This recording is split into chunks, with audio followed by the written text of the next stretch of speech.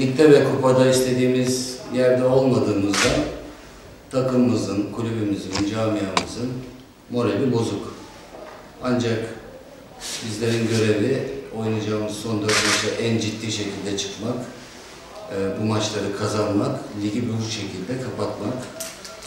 Dolayısıyla Revan maçına çok ciddi şekilde hazırlandık. Hafta içi yaptığımız her türlü çalışmayı oyuncularımın maçta yerine getirmiş olmasından dolayı son derece memnunum. Oyunun 90 dakikası içerisinde oyun disiplininden kopmadan, oyunun tümüne hakim olan, pas oyununu iyi yapan, kendileri de zevk alırken seyredenlere de zevk veren bir takım gördük bugün. Ee, 4-0'lık bir netice aldık. Dolayısıyla son derece bu konudan dolayı mutluyum.